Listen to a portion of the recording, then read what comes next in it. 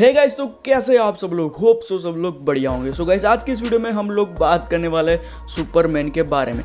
कि अगर लाइफ में, अगर हमारे रियल लाइफ में अगर सुपरमैन होता है तो कैसा होगा? और क्या ये सुपरमैन रियल लाइफ में पॉसिबल है या फिर नहीं? मुझे पता है कि बहुत सारे जो हीरोज़ है, वो असलियत में रियल लाइफ में एग्जिस्ट नहीं करते। और बहुत सारे ऐसे भी हैं जो मेरे ख्याल से फ्यूचर में एग्जिस्ट करेंगे। एग्ज़ाम्पल फॉर आयरन मैन तो यही सारी चीज़ों के बारे में आज इस वीडियो में बात करने वाला है कि सुपरमैन रियल में एग्जिस्ट कर सकता है रियल लाइफ में या फिर नहीं। तो चलिए शुरू करते हैं। तो पर्सनली अगर मेरी बात करूँ तो मेरा फेवरेट सुपर हीरो सुपरमैन है और तुम्हें पता चल ही गया होगा बिकॉज़ ऑफ़ मेरा चैनल का नाम भी उसके रिलेटेड है। तो थोड़ी बेसिक चीज़ों के बारे में बात कर लेते हैं कि क्यों सुपरमैन जैसी चीज़ एग्जिस्ट कर सकती है। तो पहले हम थोड़ी बेसिक चीज़ के बारे में बात करेंगे ओके तो आपको पता होगा कि जो हमारा सुपरमैन है, वो क्रिप्टॉन प्लेनेट से ओके और जब क्रिप्टॉन प्लेनेट से जब सुपरमैन यानी कि क्लार्क कैंट या फिर काले वो जब तक अर्थ पे आया, तब तक क्रिप्टॉन प्लेनेट तबाह हो चुका था, ठीक है? और जब सुपरमैन अर्थ पे आया, उसके बाद जो कैसे वो बड़ा हुआ और कैसे उसकी लाइफ चल रही थी, उसके बारे में सैकड़ों मूवीज़ और सीरीज़ बन चुके तो मुझे उसके बारे में इंट्रोडक्शन करवाने की ज़रूर नहीं है। लेकिन आज इस वीडियो में हम लोग थोड़ी बहुत चीज़ें जानने वाले और उसमें से पहली चीज़ है ग्रेविटी तो ग्रेविटी के बारे में मुझे आपको ज़्यादा बताने की ज़रूरत नहीं बिकॉज़ ऑफ़ न्यूटन ने पहले इसको फाइंड कर दिया, उसको तीन लॉ निकाल दिए लॉ ऑफ़ मोशन के, और उसके साथ अगर मैं थोड़ा बहुत आगे बढ़ूँ तो सुपरमैन को सुपरमैन बनाने वाली पहली चीज़ है, वो है ग्रेविटी ओके तो पहले हम बात करते कि क्यों ऐसा पॉसिबल है कि हमारा जो सुपरमैन है, वो अर्थ पे उड़ सकता है? बिकॉज़ ऑफ़ कि वो एलियन है क्रिप्टो वो क्रिप्टोन से आया हुआ है तो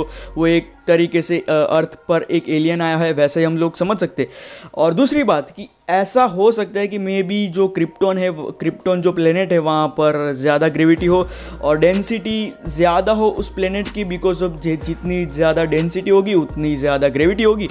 और अगर ज़्यादा ग्रेविटी हुई तो वो जो जीव है या फिर एलियन है, वो अगर पृथ्वी पर यानी कि लेस ग्रेविटी वाले प्लेनेट प्लेनेट पे आएगा तो मेरे ख्याल से वो एक जंप करके भी उड़ सकता है। और अगर तुमने ध्यान से देखा हो मूवी में तो मेरे ख्याल से अभी अभी की मूवी में सुपरमैन जंप करके उड़ता है। अगर मैं पुरानी मूवी के बारे में बात करूँ तो वह वैसे उड़ जाता है। बिकॉज़ ऑफ़ वहाँ पर सीजीआई और बहुत सारे इफ़ेक्ट नहीं थे तो उस टाइम पर ऐसा बताना इतना पॉसिबल नहीं था कि वो एक जंप करके उड़ सकता है। लेकिन अभी अभी की मूवी के बारे में बात करें ना तो मेरे ख्याल से बहुत ही ज़्यादा चेंजेस किए गए हैं सी के थ्रू और बहुत सारी इफ़ेक्ट्स के थ्रू और आपको अभी देखने को मिलेगा कि कैसे जंप करके हमारा सुपरमैन उड़ सकता है। और जो दूसरी बात है जो मेरे ख्याल से मोस्ट इंपॉर्टेंट रखती है सुपरमैन के लिए बिकॉज़ ऑफ़ ये इसके लिए ही जाना जाता है। तो मैं बात कर रहा हूँ स्ट्रेंथ के बारे में बिकॉज़ ऑफ़ सुपरमैन स्ट्रेंथ के लिए सबसे ज़्यादा जाना जाता है। ओके तो अगर मैं स्ट्रेंथ के बारे में बात करूँ ना तो उसके लिए हमें थोड़ा बहुत हमारे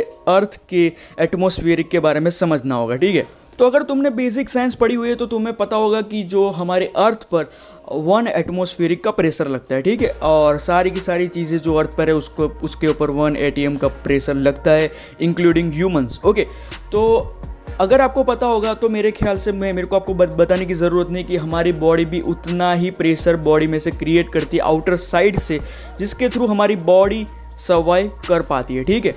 और अगर मैं अनबैलेंस सिचुएशन के बारे में बात करूँ ना तो भाई बहुत ही खतरनाक चीज़ें हो सकती है। जैसे कि अगर एटमोसफियरिक का प्रेशर बहुत ही ज़्यादा होगा तो भाई इंसान कुचला जाएगा वो यानी कि एक सेकंड में ख़त्म हो जाएगा ठीक है? और दूसरी जो सिचुएशन है वो बहुत ही ज़्यादा खतरनाक है बिकॉज़ अब अगर आपका बॉडी का प्रेशर बहुत ही ज़्यादा होगा तो आप फट जाओगे। लेकिन इन दोनों के बीच में भी एक सिचुएशन आती है जो मेरे ख्याल से सुपरमैन के ऊपर फिट बैठती है कि एटमोसफियरिक का प्रेशर कम हो जाए और आपका कॉन्स्टेंट रहे। तो और वैसे ही कंडीशन हम लोग देख पा रहे हैं सुपरमैन के केस में ओके तो तुम्हें एक क्वेश्चन हो रहा होगा कि अगर सुपरमैन यहाँ पर आया है और उसकी बॉडी में ज़्यादा प्रेशर है तो मेरे ख्याल से वो फट जाएगा। लेकिन नहीं, ऐसा नहीं हो सकता। बिकॉज़ ऑफ़ कि वो जन्म के बाद पृथ्वी पर ही बड़ा हुआ है। यानी कि उसकी जो बॉडी है, वो एटमोस्फेरिक कंडीशन को एक्सेप्ट कर रही है, ठीक है? और जो हमारी अनबैलेंस सिचुएशन में सुपरमैन का ये केस है, जिसके थ्रू ही वो इतना ज़्यादा स्ट्रेंथ उसके पास है। तो ये सारी चीज़ के बाद आपको एक क्वेश्चन आया होगा बिकॉज़ ऑफ़ अगर आपने जस्टिस लीग देखी होगी तो आपको ये क्वेश्चन आ सकता है। कि जो हमने देखा था कि सुपरमैन की जो बॉडी है वो पूरी ज़मीन के अंदर दफन की गई होती है लेकिन फिर भी उसकी बॉडी डिकम्पोज नहीं होती ठीक है? तो उसका रीज़न क्या हो सकता है कि उसकी बॉडी डिकम्पोज नहीं हुई? तो इसका आंसर बहुत ही ईजी है बिकॉज़ ऑफ़ वो क्रिप्टोन प्लेनेट पे पहली बात बॉर्न हुआ है और दूसरी बात कि उसके अंदर कोडेक्स इंस्टॉल किया गया था ठीक है? यानी कि जो भी डीएनए है जा सारे क्रिप्टोन प्लेनेट में जो भी जितने भी सारे क्रीचर है उसके डीएनए जो हमारे सुपरमैन के डीएनए में मिल गए हैं, यानी कि कोडेक्स उनमें इंस्टॉल किया गया था। और दूसरी बात कि जो हमारा सुपरमैन है, उसके जो बॉडी के एलिमेंट है, वो अलग है पृथ्वी से बिकॉज़ ऑफ़ अर्थ पे बहुत अलग एलिमेंट से ह्यूमन का स्ट्रक्चर बनता है और हमारा जो सुपरमैन है, वो अभी अनआइडेंटिफाई है ओके क्योंकि हमें पता नहीं है कि वो किस एलिमेंट से बना हुआ है। तो ये एक पॉसिबिलिटी हो सकती है कि उसका जो बॉडी है, वो मरने मरने के बाद भी क्यों डिकम्पोज नहीं हुआ, ठीक है? तो अब आ जाते हैं हमारे लास्ट क्वेश्चन के बारे में बिकॉज़ ऑफ़ आप लोग थंबनेल देख के आए हो तो मेरे ख्याल से आपको आंसर तो मिलना ही चाहिए। तो क्वेश्चन का क्वेश्चन ये था कि क्या हमारा जो सुपरमैन है, वो रियल लाइफ में एग्जिस्ट कर सकता है या फिर नहीं? तो वेल पॉसिबल है कि ये एग्जिस्ट करे बिकॉज़ ऑफ़ कि तुम नहीं जानते, मैं नहीं जानता कि हमारा जो यूनिवर्स है वो कितना बड़ा है। और फ्यूचर में क्या हो, क्या नहीं, वो हम लोग नहीं जानते। और मैं भी ऐसा भी हो कि सुपरमैन जैसा दिखता है, वैसा रियल लाइफ में ना दिखे, लेकिन वो कुछ अलग ही बॉडी उसकी दिखे, उसका फेस अलग दिख दिखता हो या फिर ऐसा भी हो कि पूरी जो उसकी स्ट्रक्चर है बॉडी का वो पूरा अलग दिखे।